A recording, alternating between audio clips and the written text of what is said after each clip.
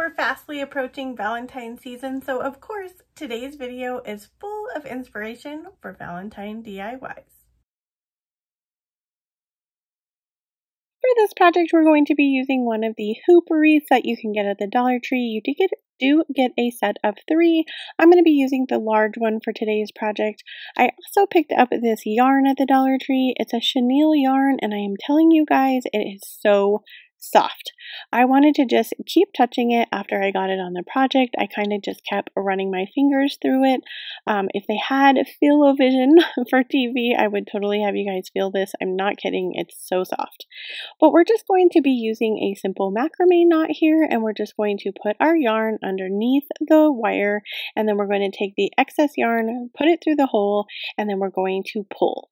We're going to get a knot here. I always pull again so that I get a tight knot and then I pull it close together. You can put as much or as little on the hoop as you want. It's really a desired look. Then I took these wood round pieces that I got from Amazon and I'm going to paint an X and an O for hugs and kisses. And I'm just using this really light pink paint from Folk Art and it is chalk paint. Once I get those on and they're dry, I'm going to add these wood pieces right to our hoop on top of our yarn. I'm going to take this pink flower. I don't remember what kind of flower it is, but it did come from the Dollar Tree in their summer collection, so be on the lookout for their spring and summer flowers, which should be coming out soon. I'm going to add it here into the middle of these wood rounds, and then I had some lamb's ear from Walmart. I just took a couple pieces of the lamb's ear, put one on each side. This gives it such a romantic look look and I absolutely fell in love with this project. Definitely my favorite project of the day. Let me know down in the comments what you guys think.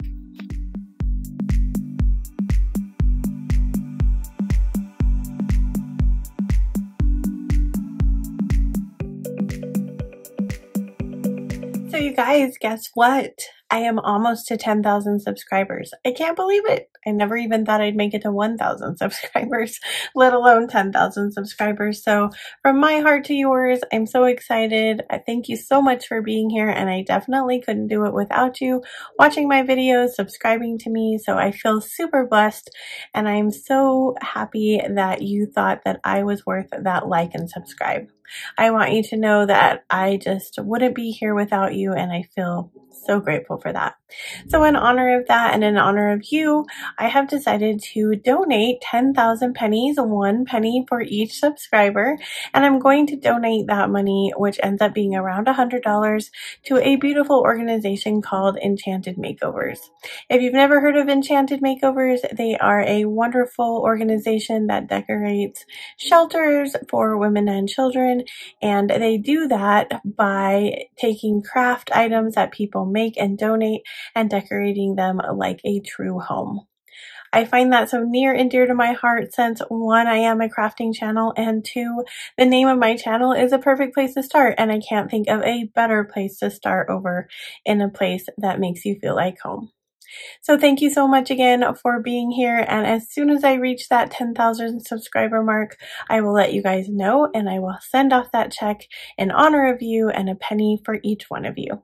Now let's get back to the video. For this project, we're going to start out with cutting some ribbon. So this red and white checked ribbon came from, I think at the Dollar Tree. We're going to cut it in half because I don't want such a big piece. The uh, mesh ribbon behind it also came from the Dollar Tree. We're going to cut that in half and then we're going to crisscross them and make a shabby bow. So I took one of the pieces of our white and red checked ribbon and I'm going to tie that in the middle to tie off our bow. I love to do this technique. I do it all the time on my channel. So if you've watched me for a while, you know this and you know it's coming. so we're going to take this wood piece from Hobby Lobby, and this was from a previous project that I did in the fall, but it's just a wood piece that I covered with some cashew chalk paint, and I added a old jean pocket to the front. So I had these felt hearts from Hobby Lobby last year. I just added a couple of red ones to the pocket and then I'm going to add this white one on the outside where I previously had some ribbon. I absolutely love this project. I love using jeans. I've used jeans in several projects so this just seemed right and I absolutely love how it turned out.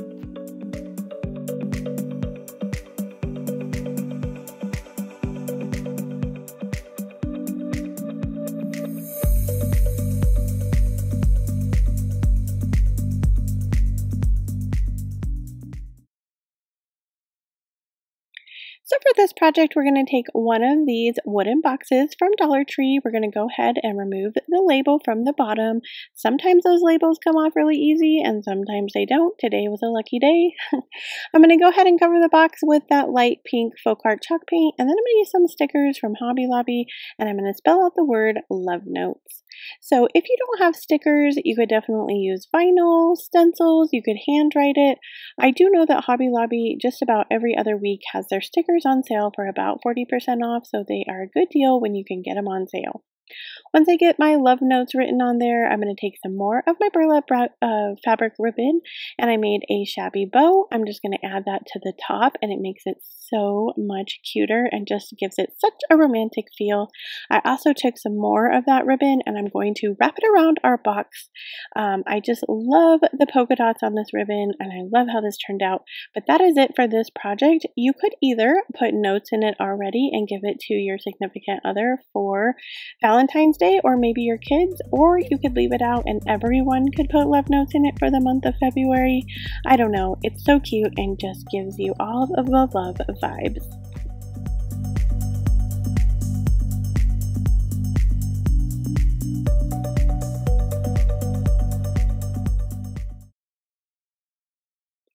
While ago, Target Dollar Spot had these houses and I bought several packages of them. I am finally getting down to the last of my packages.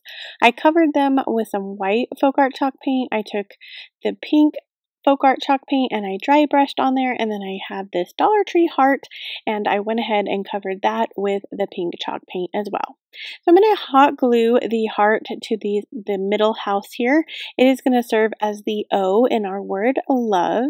And I just thought that this was so fitting because you have love at home and that's kind of where I was going with it.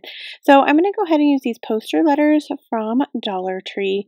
I love these poster letters. They work really well and they definitely are an option if you don't have a vinyl cutting machine.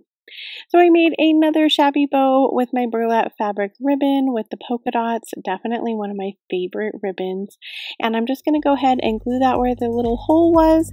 Here's what it turned out looking like. I absolutely love it. It's so romantic and kind of girly looking. You guys let me know what you think about this one.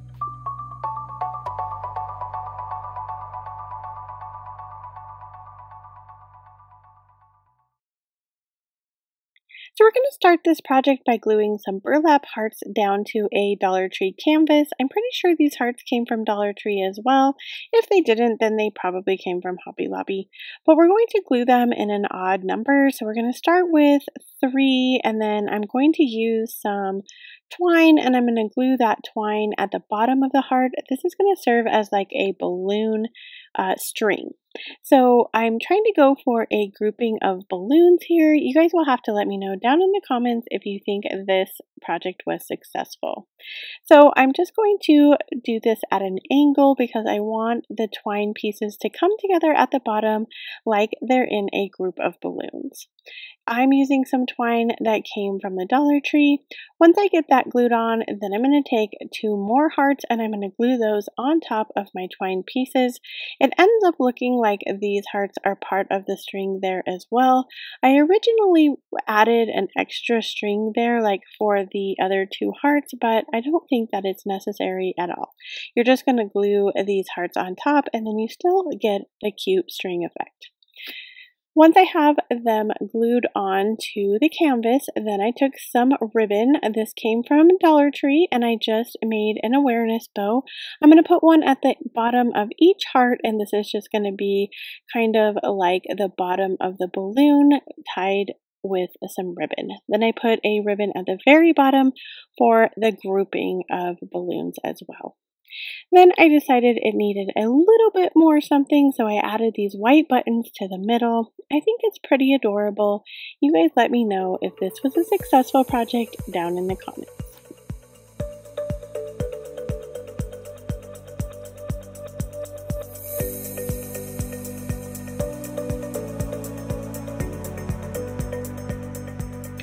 Alright my friends, we made it to the end of the video. If you want to keep on crafting with me and doing Valentine DIYs, then watch this video next. And as always, wherever you are in your journey is a perfect place to start, and I will see you in my next video.